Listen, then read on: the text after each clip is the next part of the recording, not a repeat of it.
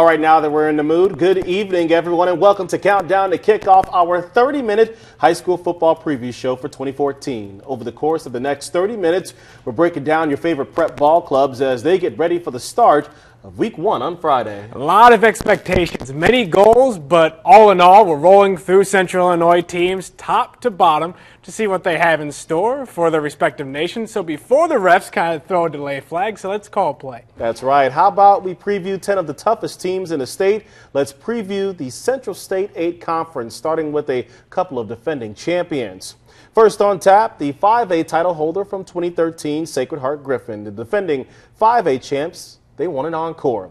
The Cyclones know teams want a shot at knocking them off. The target on their backs, even bigger with the label as title holder. Despite a few losses on the depth chart, the Cyclones reload with plenty of talent this season.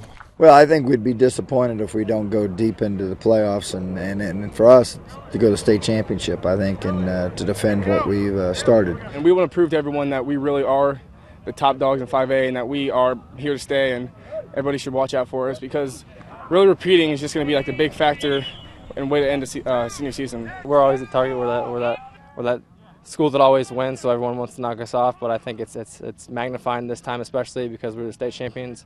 But uh, I'm just going to take that and run with it and just try to get even better, exceed what we did last year. SHG opens the season at Springfield High this Friday. We turn our attention to the, another state champ from the viewing area, the Rochester Rockets.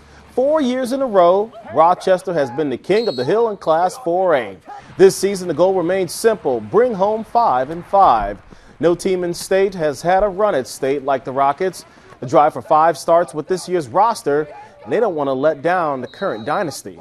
You know, to not win a state championship is it's a letdown now, and, and that's hard to say. Um, but you know, it, uh, for those guys, they like these kids, they've never lost a playoff game, and so um, you know that's tough for them. They don't they don't want to be the, the, group that does lose. Oh yeah, we've been pretty lucky, and we've all I mean we haven't seen any failure. We've been all blessed and had some good seasons. You know we, we like the challenge, and we got a pretty big target on the back.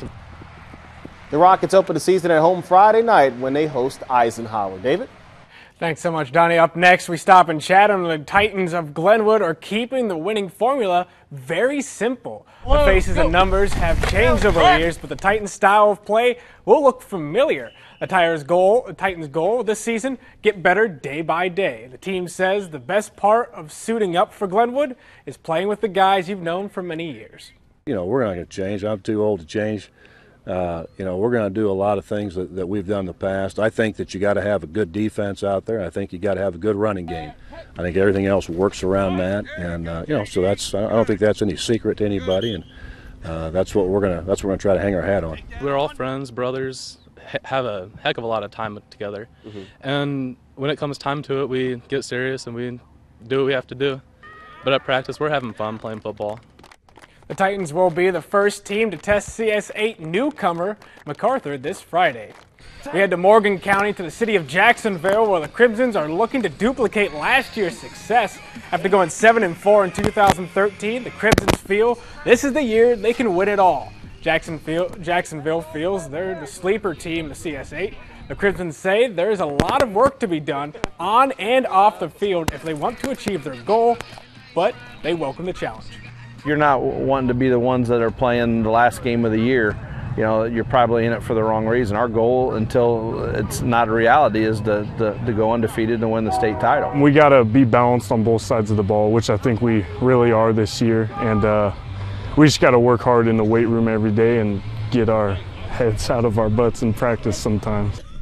Jacksonville will begin 2014 play at home against Lanphier. Donnie? We head back to the Capitol now where Springfield High is out preparing for a grueling start to the 2014 season. This young team will face SHG in week one and Rochester in week two. The Senators want to take these tough teams head on. They will rely heavily on their sophomores and juniors to lead the charge. Springfield believes this year the team has better chemistry than years past.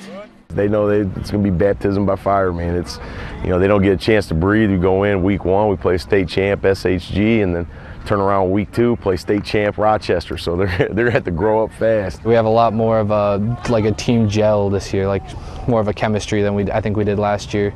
A lot less clicky, a lot less like all the seniors talk with the freshmen. We help them out, something that we didn't really have with last year's group of kids. And I think think we're going to have one of the better teams that we've had in the past.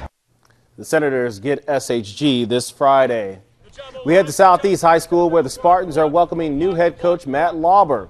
He's bringing a fresh perspective to the team, changing both the offense and defense. A spread offense and a 3 4 defense are in the mix. The players say Coach Lauber has brought new excitement to the team. He's more a hands on guy, you know, he's really intense. Uh, he wants perfection, everything, whether it's just walking, you know, one of those guys that don't like to lose, and neither do I. There's a, a lot of things going being a first time head coach, but and I'm really enjoying it, and these guys are making it pretty easy with me with buying in and doing things the right way. Sparty is on the road for week one at Lincoln.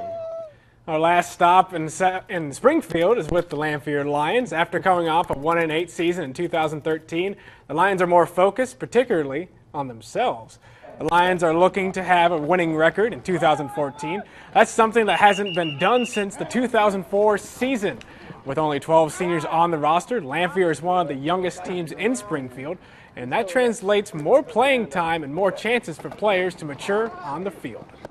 Our goals for the upcoming season are to compete against ourselves and make ourselves better and make sure that we're pushing tempo in practice and we're practicing like a championship team. So we really got to kind of compete against ourselves. We haven't had a good record for three, four years now.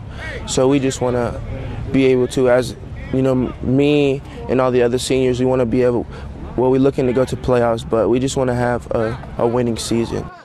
The Lions are on the road in week one when they visit Jacksonville. The Lincoln Railers are coming off a winless season in 2013, but despite the lack of victories, the Railers are hard push, uh, pushing hard for positive results. The Railers know they're underdogs going to most games, but don't count them out on Friday nights.